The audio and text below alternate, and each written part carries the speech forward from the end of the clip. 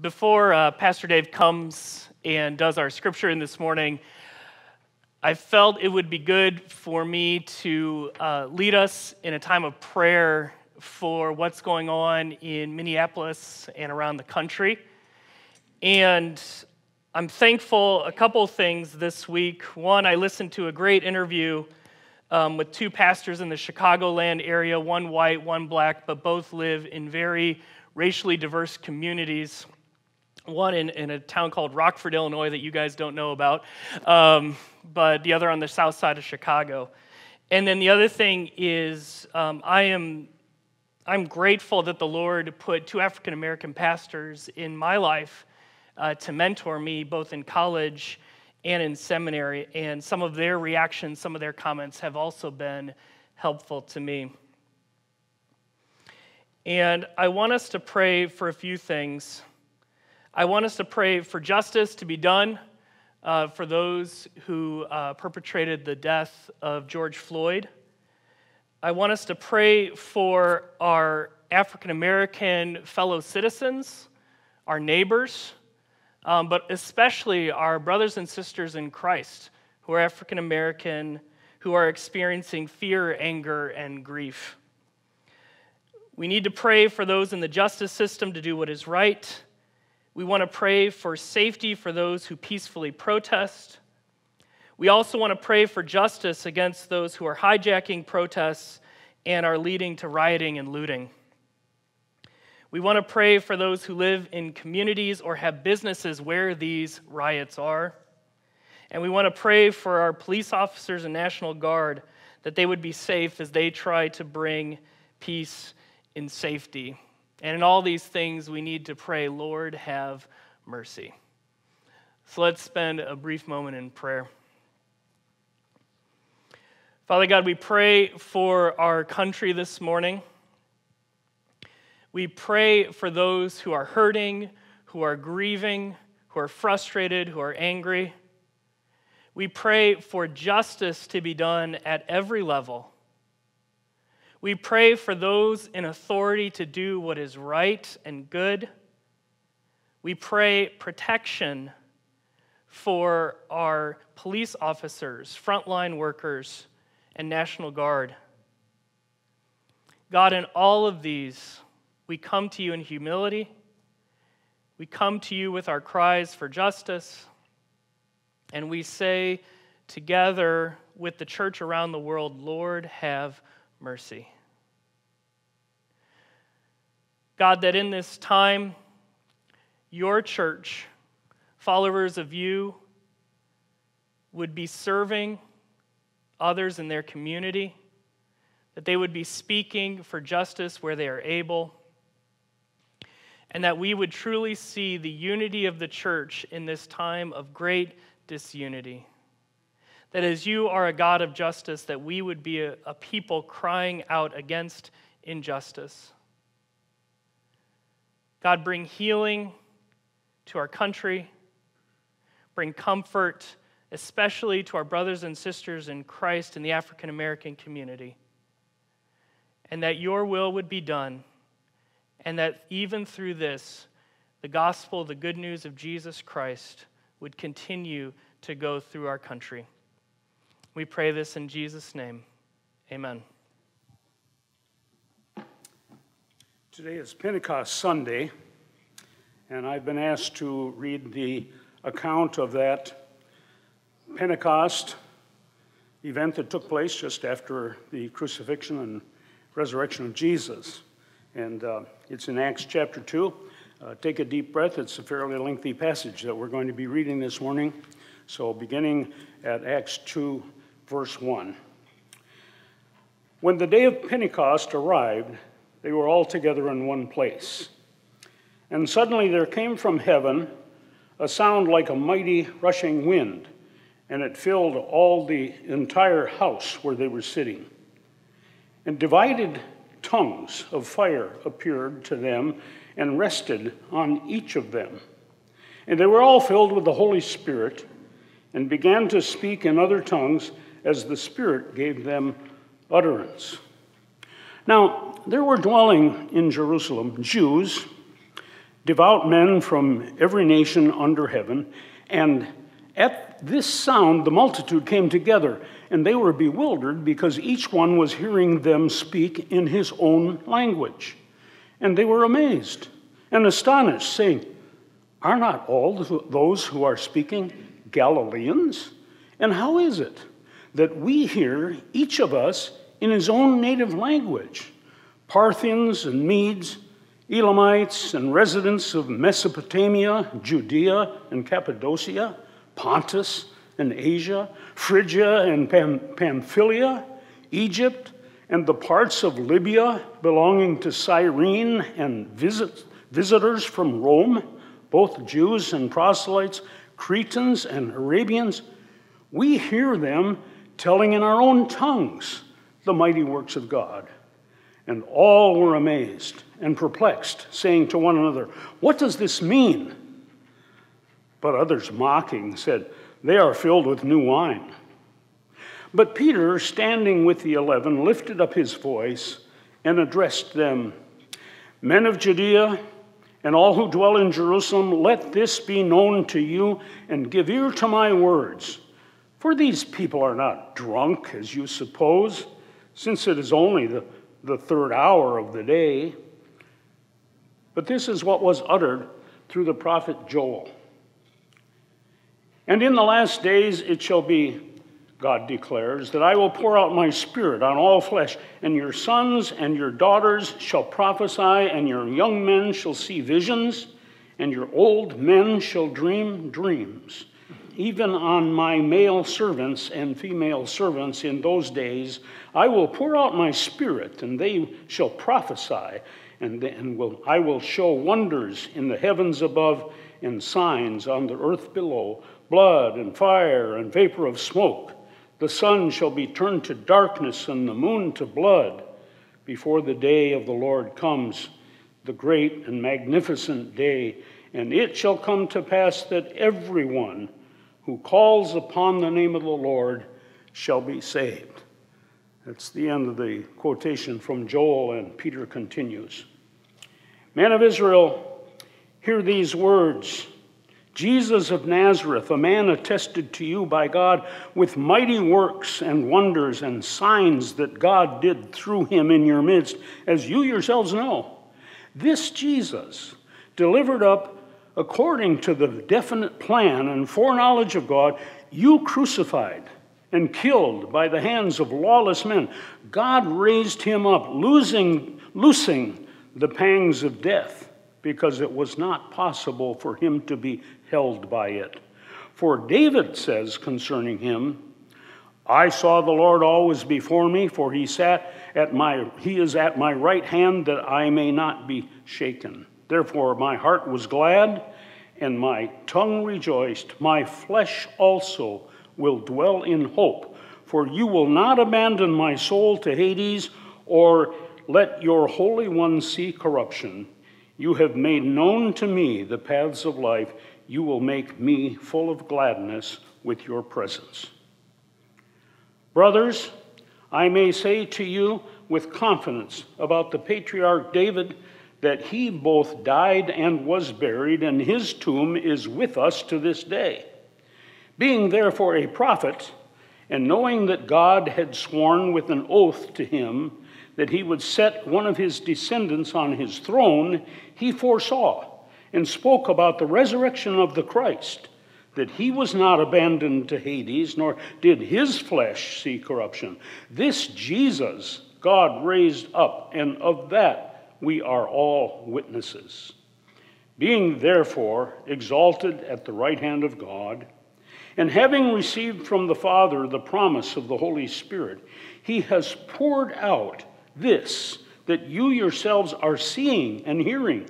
For David did not ascend into the heavens, but he himself says, The Lord said to my Lord, Sit at my right hand until I make your enemies your footstool. Let all the house of Israel therefore know for certain that God has made him both Lord and Christ, this Jesus whom you crucified. Now, when they heard this, they were cut to the heart and said to Peter and to the rest of the apostles, Brothers, what shall we do? And Peter said to them, Repent and be baptized, every one of you, in the name of Jesus Christ, for the forgiveness of your sins, and you will receive the gift of the Holy Spirit. For the promise is for you and for your children and for all who are far off, everyone whom the Lord our God calls to himself. And with many other words, he bore witness and continued to exhort them, saying, Save yourselves from this crooked generation.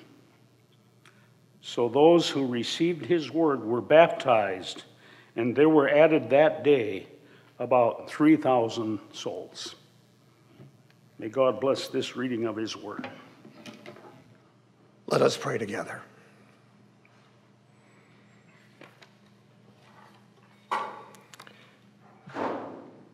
Father, Son, and Holy Spirit,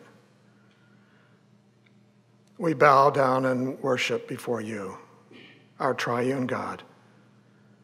Grateful that we are the people of your pasture and the flock under your care, and that we're able to join together once again in this place that you have provided for us. On this special Lord's Day, we celebrate the truth that we serve a risen Savior and that His Spirit indwells and empowers us for godly living and service. This morning, our hearts are filled with so many different emotions. We feel joy just being together in your presence. We feel gratitude for our pastor and elders who continue to faithfully serve us in the spirit of Christ's love. We feel anxious about what the future holds physically and financially, locally nationally and internationally. We feel righteous indignation as the enemy of our souls continues to prowl around like a roaring lion, looking for someone to devour.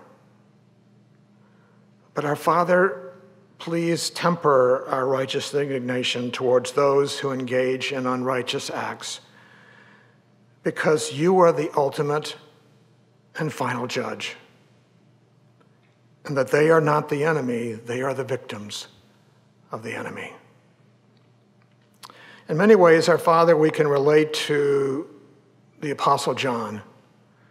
Banished and confined on the island of Patmos, John had a limited perspective. Implication is that he was losing sight of the fact that someone other than Domitian was in charge of the whole mystery of life and death. And so, our Father, you graciously and suddenly lifted him up and pulled the curtains back from heaven, allowing him to see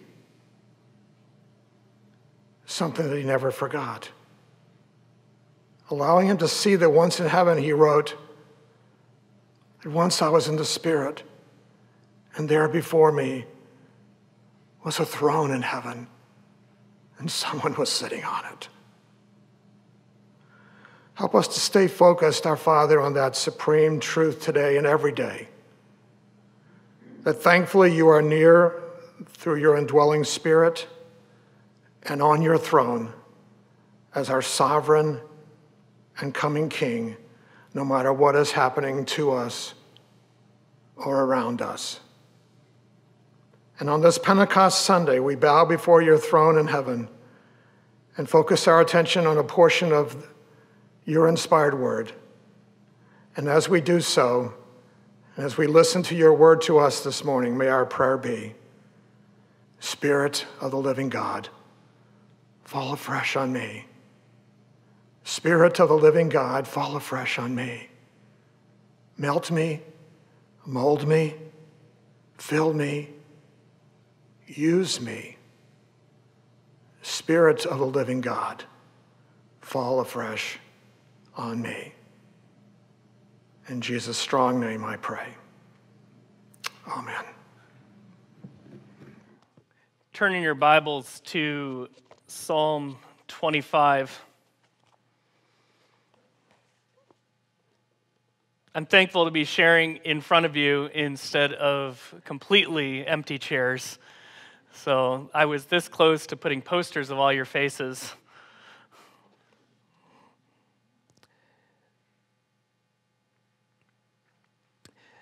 Again, as with last week in Psalm 24, there's an appropriateness to God's sovereignty in giving us uh, what is just the next chapter of His Word. Because Psalm 25 speaks to when our life feels like it's in chaos. Again, very appropriate. What do you do when your life is in chaos? One of the responses is to simply just give in to the overwhelming wave of all that is going around, to be overwhelmed by out of control circumstances. Another way is to seek to bring order and structure into those times. For me, there comes a point when the clutter in my space or in my house becomes stressful. I can only watch the show Hoarders for so long before I have to take a walk or something. The idea of needing to create order, needing to remove clutter, helps bring comfort to a stressful situation. Many of you women may have experienced what they call the nesting instinct of right before a child is about to be born, there you seem to get into overdrive of getting ready. And again, creating order where there feels like there is chaos. We see this in the grieving process as well. For some, when they grieve, they need to go away and be alone and be in solitude. Others feel better when they are able to get back into their regular rhythm of life. I would count myself among those. Maybe that's you too. For me, one of the blessings of having the kids in school is the structure that it puts on our lives. And it's this idea that undergirds Psalm 25. Psalm 25 is categorized as an acrostic lament psalm. So let me break down those different parts. So, number one, it's a lament psalm. It is a prayer that, as one author puts it, a prayer in pain that leads to trust. But the structure of it, and again, it's hard to see this in the English. Many of you may have a footnote in your Bible about this, but an acrostic poem is where each line is successive letter of the Hebrew alphabet. So if we were writing an acrostic poem in English, the first line would start with A, the second line would start with B, the first line would start with the third line would start with C and so forth. Now, this structure along with the content, I think helps us to apply the big ideas of Psalm 25. So, just like we would say to cover a topic from A to Z, and to talk about the totality, here we're going to see a lament from A to Z. In addition, there's an order, there's a rigidity in a good way to having to come up with the next letter of the alphabet. So if we saw, if you saw printed out an English poem where every line was a successive letter of the alphabet, you would see the structure. You would say there's there's a definite order here.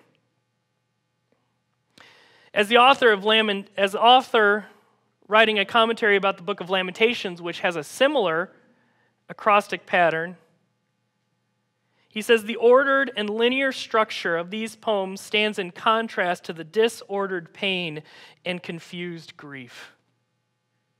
So, when we are experiencing chaos, when we are experiencing grief and hardship, God has given us an ordered and linear structure of Psalm 25 to pray to Him, to read through, to bring structure into a life filled with chaos. And so, with that in mind, we're going to go through this psalm and see the ordered life that God is calling us to live as we persevere through circumstances out of our control and circumstances of pain. So let's look at verses 1 through 3 of Psalm 25. To you, O Lord, I lift up my soul. O my God, in you I trust. Let me not be put to shame. Let not my enemies exult over me. Indeed, none who wait for you shall be put to shame. They shall be ashamed who are wantonly treacherous. One of the basic aspects of a lament psalm is that it is directed to the Lord. And it's a very basic part, but it is a profound part. That we are called to voice our complaints to the Lord. We're not encouraged to shout to the sky, but we are to cry out to the God who loves us. And in his cry of pain, David affirms his trust in the Lord. To you, O Lord, I lift up my soul. O my God, in you I trust. And he makes requests of the Lord to not let him be put to shame, nor let my enemies exult over me. In crying out to the Lord, he cries for protection and justice that can only come from the Lord. And we see, as we will see throughout this psalm, the confidence of David in the Lord. So in verse 3, indeed, none who wait for you shall be put to shame. They shall be ashamed who are wantonly treacherous. You can trust the justice of God, even when it seems like there is no justice in the world. And another important theme of this psalm is the description of God's people in verse 3.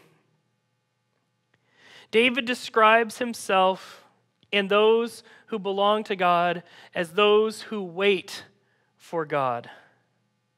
This will be repeated later in the psalm in verses 5 and 21.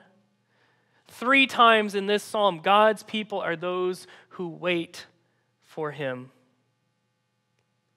It is important to see that in times of hardship and pain, that sometimes we are called to wait on the Lord. It is a reminder that God is not on our schedule, and sometimes that waiting is long. I think that's one of the reasons a lament psalm like this is the length that it is. Because oftentimes our pain feels long and is long. But we are called to wait on the Lord because God is good and will bring justice. Verses 4 to 7 then move from talking about waiting on the Lord and crying out to the Lord to a submission to God's guidance. And that we need the teaching and forgiveness of the Lord. Now, again, one of the elements of a lament psalm is making requests of the Lord. And there's two main categories in these verses of asking the Lord to teach him, but also asking for forgiveness. So let's first look at verses 4 and 5. Make me to know your paths, O Lord. Teach me your paths. Lead me in your truth and teach me, for you are the God of my salvation. For you I wait all the day long. To get through this time in a way that pleases the Lord, David knows God must teach and lead him. There is an active side to our waiting.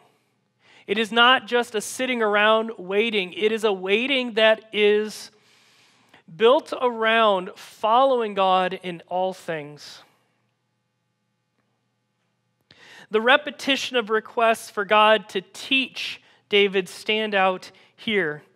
As one author writes, the imitation of God requires a submission, submissive spirit to divine instruction, for which he prays four times. There's an ongoing request for God to lead and teach. What does this look like in your life? When was the last time you prayed for God to teach you and lead you in the midst of hardship? I think there's a natural prayer in hardship, a prayer of rescue, a prayer of deliverance, and those are here. But we also must see maybe a prayer we didn't think of. That as we live our lives under circumstances out of our control, Lord, lead and teach me. But again, this teaching is done, verse 5 For you I wait all the day long, for you are the God of my salvation. God does save his people, God does deliver his people. And as we wait on the Lord, we live lives of loving obedience. We wait in hope on the Lord to rescue us, and while we wait, we commit ourselves to godly living and obedience. And again, it's understanding what obedience looks like that obedience is an act of trust in the Lord to deliver us. But this is not the only request that David makes here. In verses 6 to 7, not only does he need the Lord's leading, but he needs the forgiveness of the Lord. Look at verses 6 and 7 with me. Remember your mercy, O Lord, and your steadfast love, for they have been from of old. Remember not the sins of my youth or my transgressions. According to your steadfast love, remember me, for the sake of your goodness, O Lord. Now, if you're reading through this for the first time, it may feel like a quick turn to go from, Lord, teach me and lead me, to forgive me. And oftentimes, when we are in hardship and pain, we are not thinking about our sin and our need for forgiveness. But I think there's a couple of reasons that David includes this, and it will come back again later in the psalm.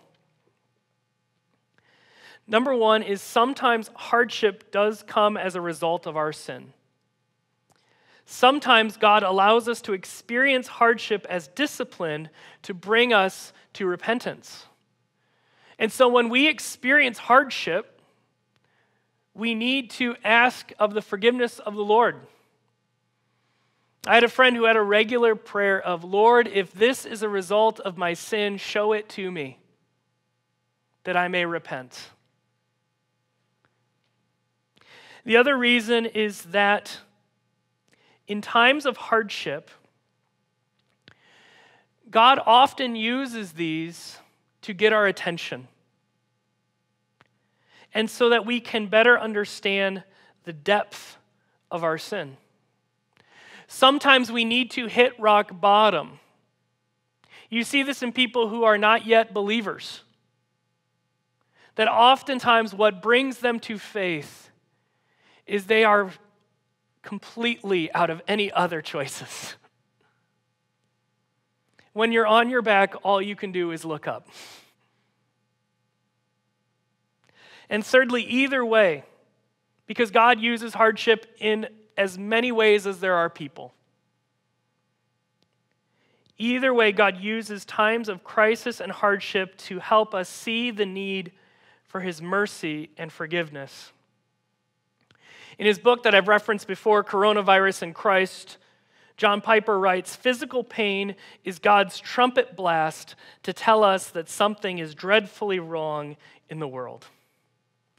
And when we see what is dreadfully wrong in our world, when we see what is dreadfully wrong in ourselves, it is then that we cry out to the Lord, Remember your mercy, O Lord. Remember not the sins of my youth or my transgressions. We also need to see that forgiveness is not based on our deserving of it, but it is based on the holy character of God. Look again at verses 6 and 7. Remember your mercy, O Lord, and your steadfast love.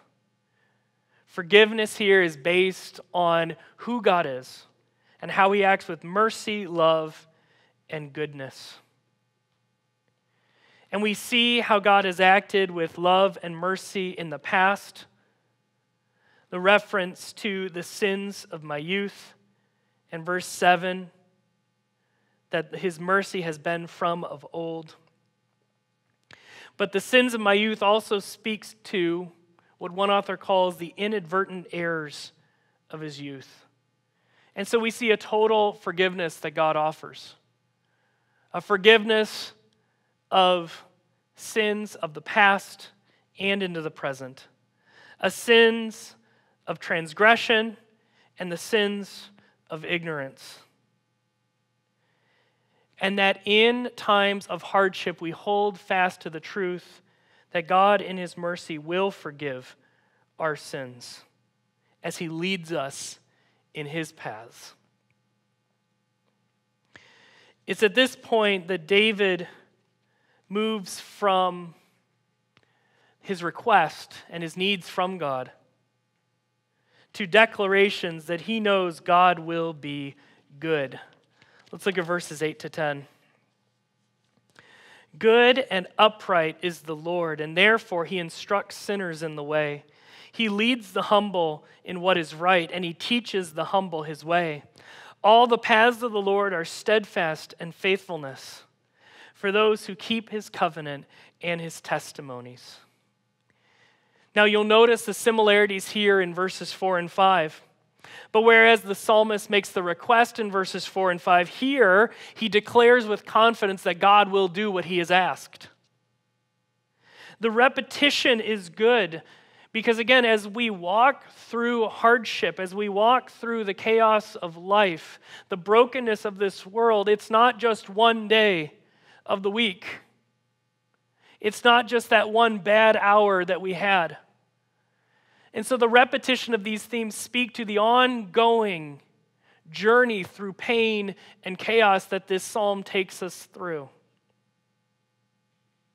It also reminds us that as we move through difficulty, one of the things that will sustain us are the good habits of godly living, the patterns of following Jesus in every aspect of our lives.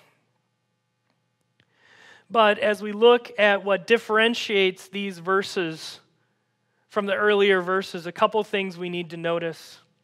One, God instructs us because he is good and upright. And because he is good in all that he does, and because he always does what is right, he will instruct and lead us. The other thing I want us to see is that God instructs us even though we are sinners. Verse 8 Therefore, he instructs sinners in the way. This side of heaven, we are never totally free from our sin, and God shows us his mercy and his love, in that while we were still sinners, he leads us and guides us. And thirdly, central to God teaching and leading us is the call for us to be humble. The more I experience the Christian life, the more I read the Bible, the more I see the importance of humility. And that is at the center here. Verse 9 He leads the humble in what is right. If we are to follow the Lord, we must come to Him in great humility. But after looking at God as teacher, David in verse 10 speaks to the rules and commands that he is teaching. And we see not only is God a good teacher, but God has good rules. Look at verse 10. All the paths of the Lord are steadfast love and faithfulness for those who keep his covenant and his testimonies. In verse 10, the paths of the Lord, the, the way that he wants us to live our lives, are described using the same words that describe God in Exodus 34 when God reveals himself to Moses. The God who abounds with steadfast love and faithfulness, his paths are expressions of that love and faithfulness. It reminds us that every command of God is for our good. We may not always understand the how and the why, but when you come to the commands of God in your Bibles, David tells us that all the paths of the Lord are steadfast love and faithfulness.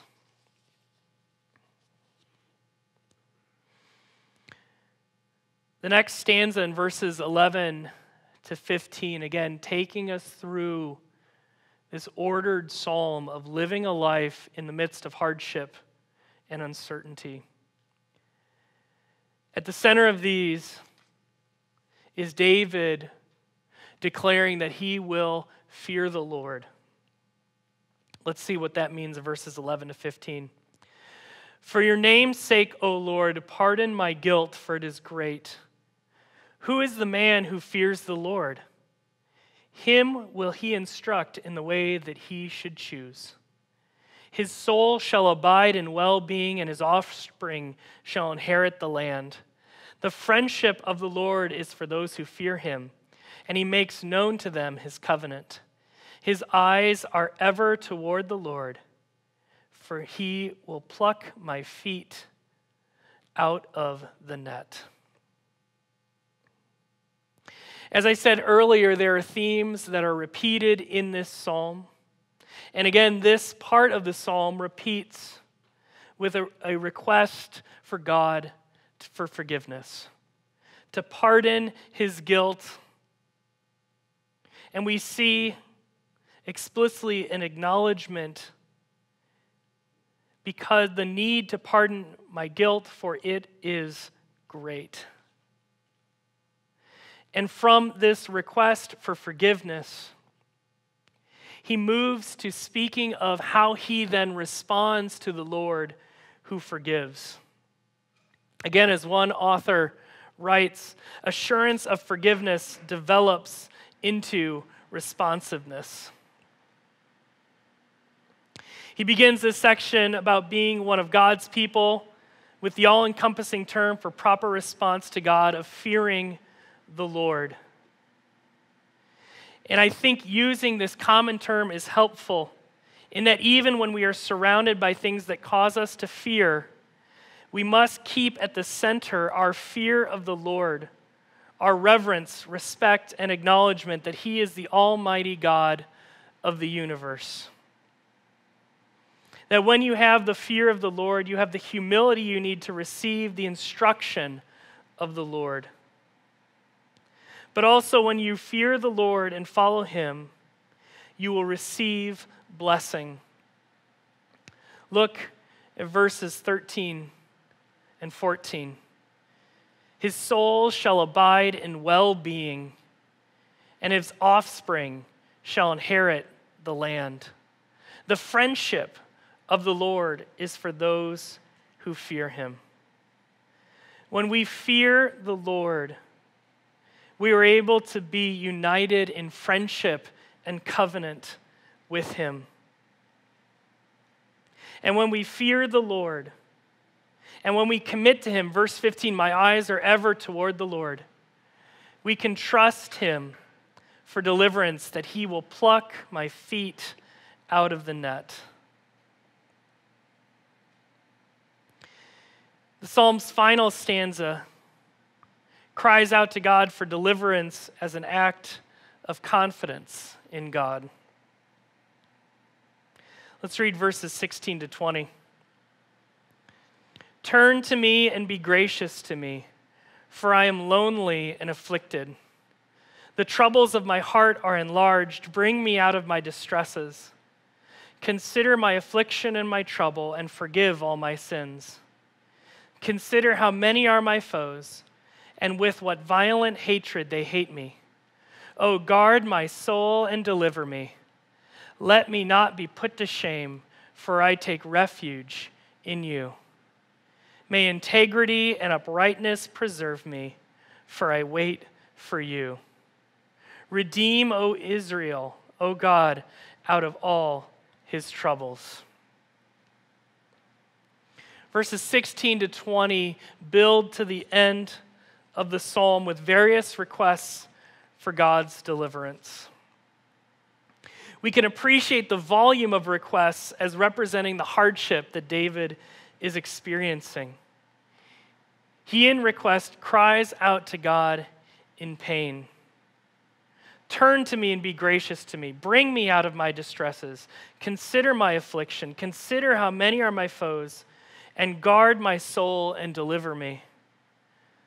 The repetition of these calls to God to act and rescue him speak to the depth of pain and hardship that he is experiencing. And in that depth of pain and hardship, it is only through the action of God that he can be rescued. It is a true testament to his reliance on God in these circumstances.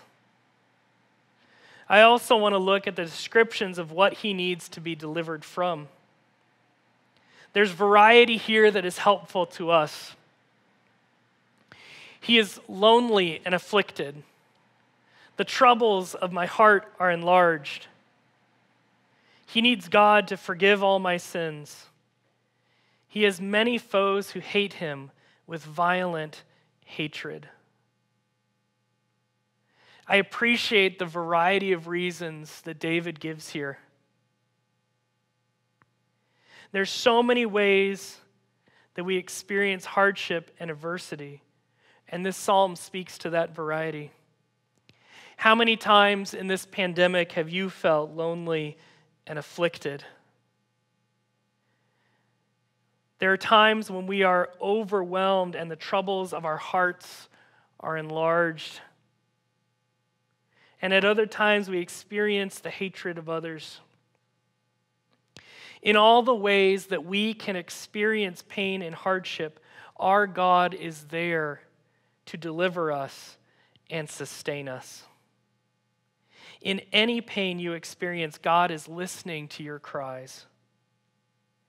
And what do we do while we plead for God's deliverance? We persevere in integrity and uprightness. Verse 21 May integrity and uprightness preserve me, for I wait for you. No matter what is going on around me, I can live a life that follows God's word, the way that He has instructed me to live. And while we persevere in obedience, we again wait for the Lord. This is, there is a trusting patience that we must often practice while we wait on the Lord. But we do so knowing that He is faithful. Verse 22 actually breaks the pattern of the acrostic poem. It adds equivalent to our letter P to the end. And in doing so, again, when the pattern is broken, it calls our attention to it. And I think when David breaks the pattern, it creates what functions like our exclamation mark on this poem. In verse 22, David cries out one last time to the Lord. And in this time, he expands the scope of his cry, not just for himself, but for his people. It reminds us that while we may pray this individually, we should pray it for others, and we pray it as one member of God's community of faith. And it is an exclamation point that ultimately it is not our grit or determined obedience that will sustain us, but it is the hope we have in God to rescue and redeem his people. Verse 22 Redeem Israel, O God, out of his troubles. So I'll come back to the question I began with how do we persevere through hardship? This psalm gives us a great pattern. We begin by crying out to God in prayer. We live a life of humbly following God as our great teacher. We seek and rely on the forgiveness of God. We have confidence as we wait on the rescue of God. This pattern, the structure of this psalm, gives us order amidst the chaos. And the repetition of the theme speaks to the ongoing challenge of following God in hardship day after day, week after week. Hardship usually lasts longer than our 24 hour news cycle. And the order of this psalm gives us a solid support to lean on. Use this psalm to bring your complaints and requests before the Lord. When you are drowning in everything that is going on around you, use this psalm to anchor your soul in the midst of hardship and pain. Let's pray. Father God, we thank you for Psalm 25. We thank you for the gift of lament in your word that gives us a pattern to cry out to you in pain. A, a prayer that leads us through the pain to trust. God, that we would find order in the chaos of our lives through your word, and that we would rely on you as we seek to live lives of integrity and uprightness in every moment of our lives, following you, our great teacher. In your name we pray. Amen. So receive this closing benediction from the end of Psalm 25. O guard my soul and deliver me. Let me not be put to shame, for I take refuge in you. May integrity and uprightness preserve me, for I wait for you. Redeem Israel, O God out of all his troubles. Amen.